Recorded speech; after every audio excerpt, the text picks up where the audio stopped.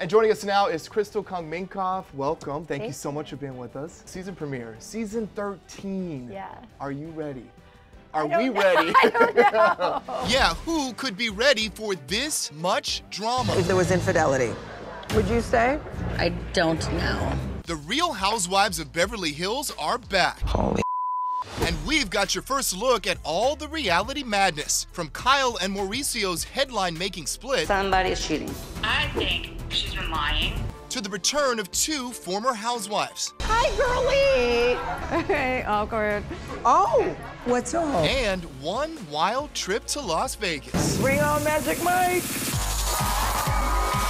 There's always drama, and this year there's um, it's pretty extreme, extreme for me and some of the women. This group wants me to scream all the time. It's wild. would you say on a scale of 1 to 10, Yeah. it's higher than normal? How would you rate it?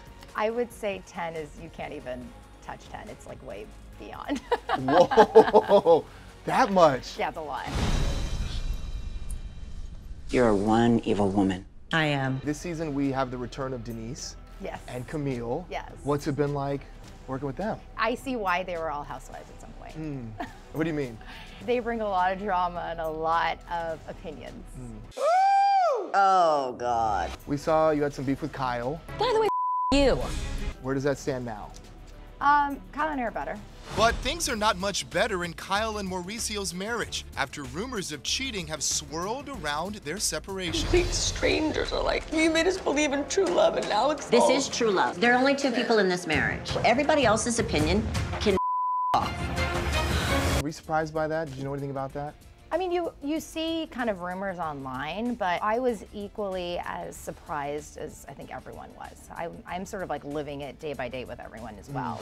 In the new season premiering tonight on Bravo, Crystal gets candid about living and struggling with bulimia. You said too, which I thought was so lovely, it's a living challenge that I face moment to moment. I do.